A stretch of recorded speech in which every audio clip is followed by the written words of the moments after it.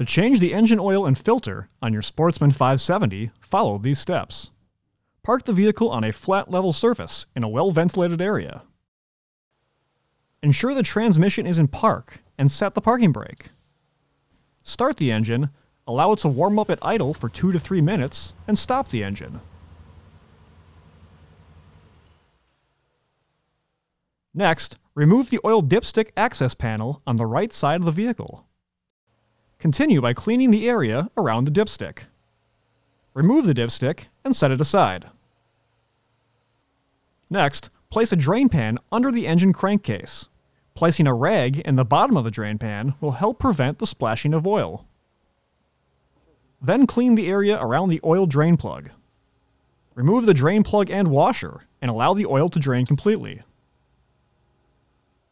Next, access the oil filter on the front of the engine through the right front wheel well and turn counterclockwise to remove it.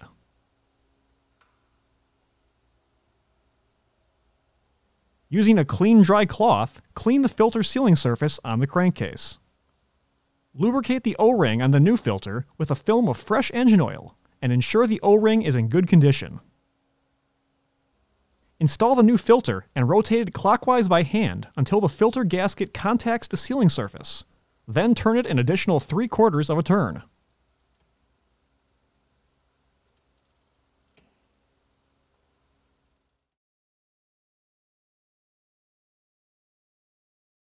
Next, clean any dirt or debris from the drain plug and ensure the sealing surfaces are free of any nicks or scratches.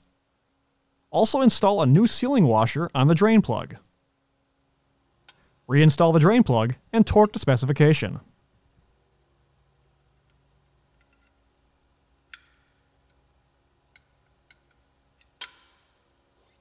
Before continuing, clean any residual oil off the vehicle.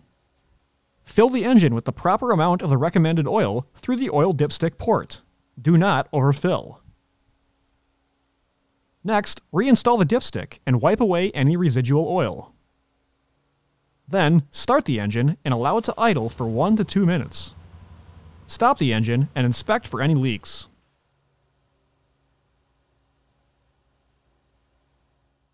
Next, remove the dipstick and wipe with a clean shop towel.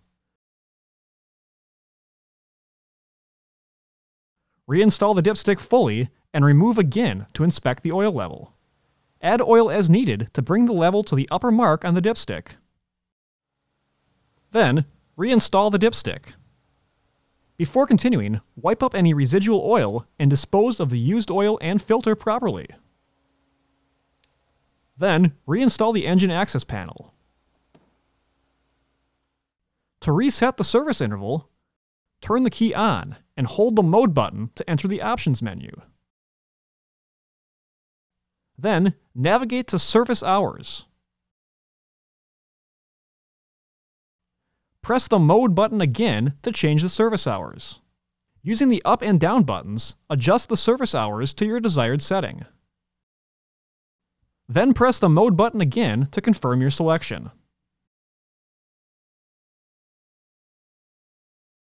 Then move to the rear of the vehicle to clean the spark arrestor. Remove the fastener securing the spark arrestor to the tailpipe, and then pull the arrestor screen out.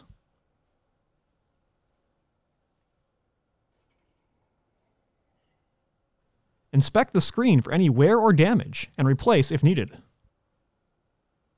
Clean the screen as needed, and reinstall in the tailpipe.